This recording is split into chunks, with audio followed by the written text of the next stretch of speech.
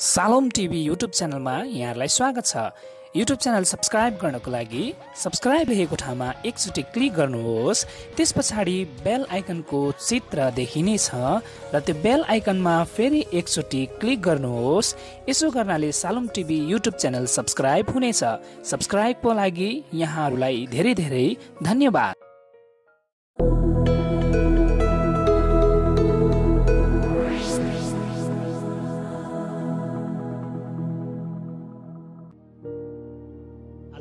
भक्ति अध्ययन सुनिरहनुभएका सबैमा जयमसी र नमस्कार। आज हामी छयानब्बेौँ नम्बरको प्रश्न लिएर आएका छौँ। प्रभुभोज के हो? प्रभुभोज एउटा पवित्र विधि हो जसमा क्रिसले थराए अनुसार रोटी र दाखरस वितरण गर्ने र ग्रहण गर्ने काममा प्रभुको मृत्युको घोषणा गरिन्छ र उचित ढङ्गमा प्रभुभोज लिनेहरू शरीर अनुसार चल्ने सांसारिक मानिसहरू नभई बरु विश्वासद्वारा उहाँको देह र रगतको आशिषहरूमा आत्मिक पोषणका लागि र अनुग्रहमा बढ्दै जानको लागि सहभागी हुने मानिसहरू हुन्। हामी नयाँ करारका पवित्र विधिहरूको गहन अध्ययन गरिरहेका छौँ जुन प्रभुभोज र बत्तिसमा हुन्। यी पवित्र विधिहरू प्रभुले स्वयं स्थापना गर्नुभएको हो जसलाई नयाँ करारको चिन्हहरू भनिन्छ। महान विद्वान क्याल्भिनका अनुसार यी विधिहरू अदृश्य अनुग्रहको दृश्य चिन्हहरू हुन्। यी विधिहरूले पुरानो करारको विधिहरूलाई विस्थापन गर्ने काम पनि गर्दछ अर्थात् खतनालाई बप्तिस्माले विस्थापन गर्दछ भने प्रभुभोजले निष्ठाचारलाई विस्थापन गर्दछ। अर्को शब्दमा भन्नुपर्दा पुरानो करारलाई नयाँ करारले विस्थापन गर्दछ। अङ्ग्रेजीमा यी विधिहरूको लागि चलाइएको शब्द स्याक्रिमेन्ट हो जुन ल्याटिनमा स्याक्रिमेन्टम भन्दछ जसको अर्थ सैनिकहरूले आफ्नो सम्राटको सामु तरवालमा हात तेर्साएर शपथ खाने विधि हो। यसको अर्थ यो हुन्छ कि यदि एउटा सैनिकले आफ्नो मालिकको खातिर आफ्नो प्राण गुमाउनु पनि पछि नहट्न लिइने प्रण हो। यसरी नै हामी क्रिस्चियनहरू क्रिस हाम्रा प्रभुका सेनाहरू भएका हुनाले बत्तिसमा र प्रभुभोज लिँदा आफ्नो मालिकको अघि हामी पूर्ण समर्पणताको प्रण गरेका हुन्छौँ। प्रस्थान चौबिस अनुसार मोसा र धर्मगुरुहरू परमप्रभुको उपस्थितिमा सिनै पर्वतमा उक्ले र परमप्रभुले इजरायलसँग करार पक्का गर्नुभयो। त्यहाँ उनीहरूले परमेश्वरलाई देखे र उहाँसँग खानपान गरे भनेर दस र एघार पदहरूमा लेखिएको छ। प्रस्थान चौबिसको दृश्य र प्रभुभोजको दृश्यमा आश्चर्यचकित पार्ने समानताहरू पाउँछौँ। जसरी मोसा र धर्मगुरुहरू परमेश्वरको वरिपरि थिए र उहाँसँग खानपान गरे त्यसरी नै येसुका बाह्र चेलाहरू जसले बाह्र कुल अर्थात् इजरायलको प्रतिनिधित्व गर्छ अदृश्य परमेश्वरको दृश्य रूप येसु प्रभुको उपस्थितिमा थिए र उहाँसँग निष्ठाचारको भोजमा खानपान गरे। प्रस्थान चौबिसमा पशुको रगतद्वारा करार पक्का गरियो तर नयाँ करारमा परमेश्वरको थुमा येसुको रगतद्वारा करार स्थापना र पक्का गरियो। जब येसुले मत्ती छब्बिसको सत्ताइसमा यसो भनेर दिनुभयो तिमीहरू सबैले यसबाट पिउ किनभने यो नयाँ करारको मेरो रगत हो जो धेरैको निम्ति पापको प्रयासितको लागि बगाइन्छ। सिनै पर्वतमा मोसा र धर्मगुरुहरूले परमप्रभुको महिमा देखेका थिए र चेलाहरूले परमेश्वरको पुत्र येसु ख्रिसको महिमा कलवरी क्रुसको मृत्युमा पूर्ण रूपमा देख्न लागेका थिए। यी पवित्र विधिहरू नयाँ करारको चिन्ह र छाप हो जसले क्रिस येसुसँग विश्वासलाई एक गर्ने काम गर्दछ। येसु क्रिस स्वयंले पनि बत्तिसमा लिनुभयो र प्रभुभोजमा सरिक हुनुभयो र हामीले यो विधिहरू पालन गर्नाले येसु क्रिसको पाइलामा हिँड्दै उहाँको अनुसरण र अनुकरण गरेको हुन्छ। अर्को शब्दमा भन्नुपर्दा क्रिसले बत्तिसमा र प्रभुभोजमा हामीसँग आफैलाई पहिचान गर्नुभयो। फलस्वरूप हामी उहाँसँग सहभागी र समावेश गरिन्छौँ। जसरी दागको बोटमा हाँगाहरू रहन्छ त्यसरी नै विश्वासीहरू येसु क्रिस्मा एकै भएर रहन्छ र अनन्तताको लागि उहाँसँग कलमी बाँधिन्छौँ। मोसाको नेतृत्वमा इजरायलहरू मिश्रको दासत्वबाट निस्किए र प्रतिज्ञाको देशतिरको यात्रामा लम्किए। धर्मशास्त्र अनुसार सम्पूर्ण इजरायलहरू सबैले मोसामा बत्तिसमा पाए एक कोरन्थी दसको दुई। पावलका अनुसार सबैले भन्नुको अर्थ इजरायलका साना ठुला अर्थात् बच्चा बच्चीहरू पनि पर्दछन्। यदि यस्तो हो भने इजरायलका बच्चा बच्चीहरूको पनि बत्तिसमा मोसामा भयो। अझ रोचक कुरा यहसुको नेतृत्वमा इजरायलीहरू दुध र मह बहने देश प्रवेश गर्नुभन्दा अगाडि सबै पुरुषहरूको खतना गरिएको थियो। यसले यो देखाउँछ कि प्रतिज्ञाको देश जानुभन्दा अगाडि करारको चिन्ह पालन गर्नुपर्ने। खतना एकचोटि मात्र लिन्थ्यो जसले परमेश्वरसँग इजरायलीहरूको होरिजेन्टल अर्थात् तेर्सो सम्बन्धको सङ्केत गर्दछ।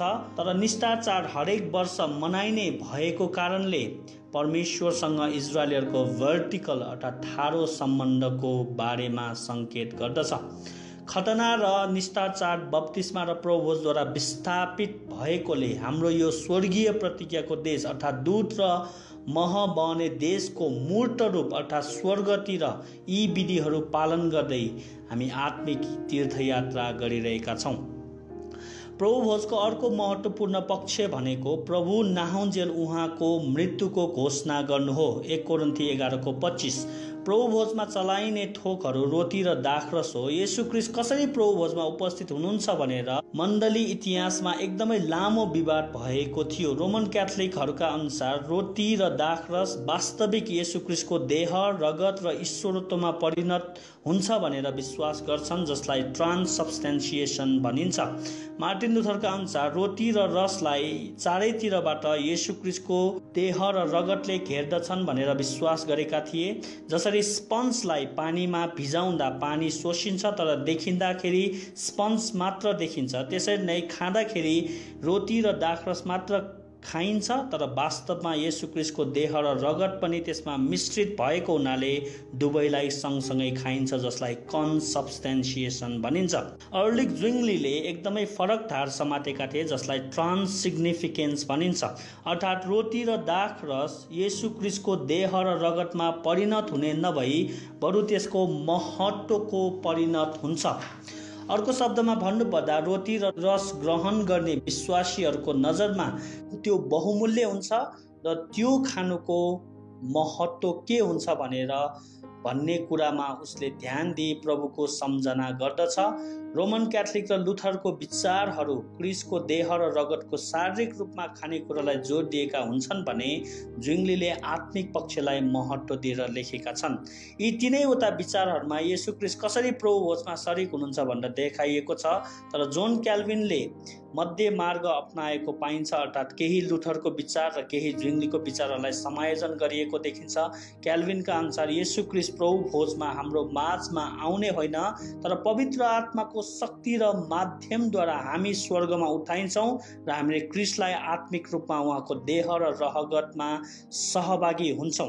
रिफर्म मण्डलीहरूमा क्याल्भिन र जुङ्लीको विचार प्रबल भएको पाइन्छ। जे जस्तो भए तापनि सुधारवादी पिताहरूले यसु क्रिस मात्र नभई त्रिएक परमेश्वर नै प्रोभोजमा हामीसँग सहभागी र सङ्गति गर्न आउनुहुन्छ भन्ने सत्यतालाई राम्रोसित प्रस्तुत गरेका थिए। जसरी पुरानो करारमा खतना र निष्ठाचार देखिने चिन्हहरू हुन् त्यसरी नै नयाँ करारका प्रभुभोज र बत्तिसमा देखिने चिन्हहरू हुन्। यी दृश्य चिन्हहरूले अदृश्य आत्मिक सत्यताहरू र आशिषहरूको महत्त्व दर्शाउने काम गर्छन्। जसरी शरीरको खतनाले आत्माको खतनाको सत्यता देखाउँछ त्यसरी नै शरीरको बप्तिस्माले आत्माको बप्तिस्मा देखाउँछ। जसरी निष्ठाचार शारीरिक रूपमा खाइन्छ तर त्यसले परमेश्वरसँगको सम्बन्ध देखाउँछ। त्यसरी नै प्रभुभोज पनि शरीरमा खाइन्छ तर त्यसले क्रिससँगको हाम्रो एकता सहभागिता सङ्गति र आज्ञाकारिता दर्शाउँछ।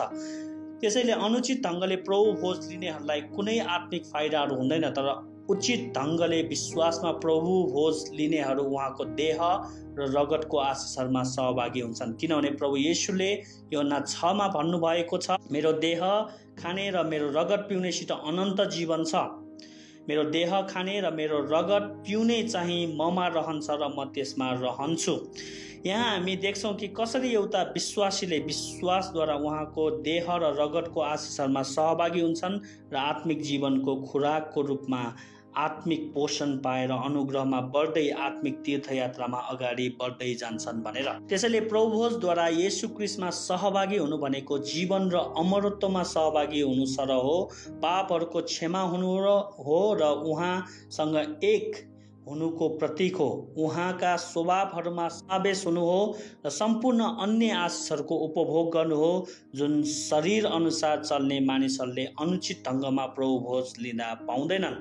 अन्तमा प्रभुभोज एउटा अपरिहार्य विधि हो जसलाई विश्वासले मात्र प्रभावशाली बनाउन सकिन्छ। सुधारवादीका पिता अर्लिक ज्विङलीको एउटा रोचक उदाहरण एकदमै सान्दर्भिक हुन्छ।